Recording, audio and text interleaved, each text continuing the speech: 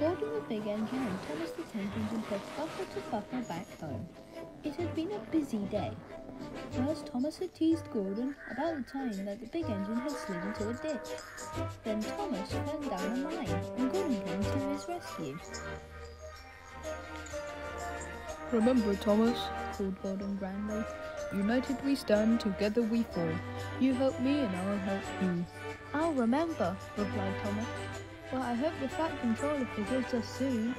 Suddenly, they noticed something. As the two engines whistled into their sheds, everywhere they looked, they saw paint pots and painters. Bust my buffers, said Thomas. What's happening? Shh, whispered Percy.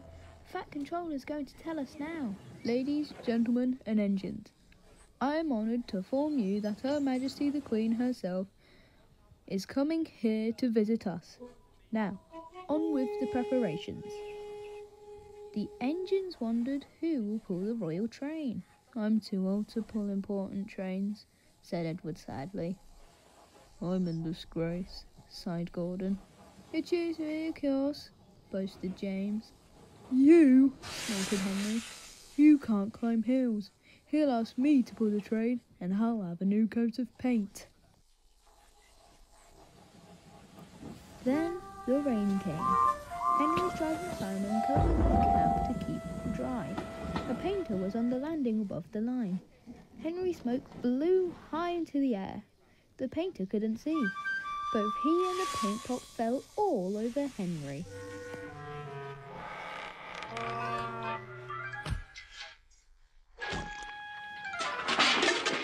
Poor Henry.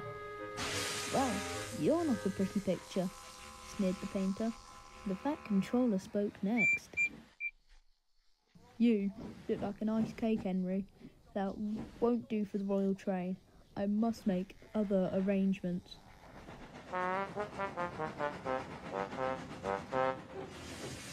Gordon and Thomas were waiting for him. Please, Please sir. sir, one at a time, replied the Fat Controller. Yes, Gordon? May Thomas have his branch line again? Hmm. I think you are both sorry and deserve a treat. Edward will go out in front to clear the line. Thomas will look after the coaches, and Gordon will pull the train. The great day came. All the engines worked hard bringing people to the town. Thomas sorted out their coaches in the yard.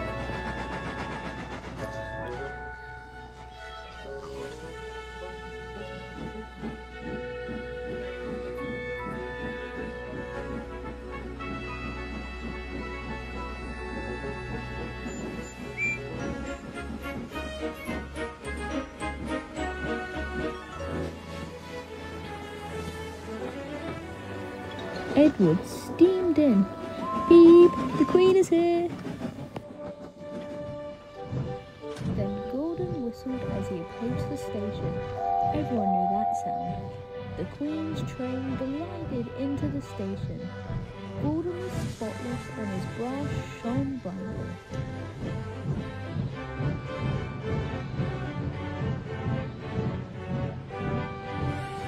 The Fat Controller stood to attention.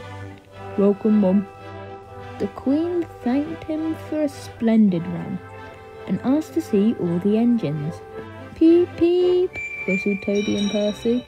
Shh, hissed Henry and James, but Toby and Percy didn't care. Three cheers for the Queen! Peep, peep!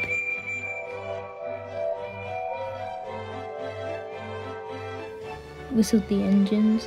When it was time to leave, the Queen spoke specially to Thomas who the coaches, then to Edward, and finally to Gordon, who took her away. No engines ever felt prouder than those on the Fat Controller's railway.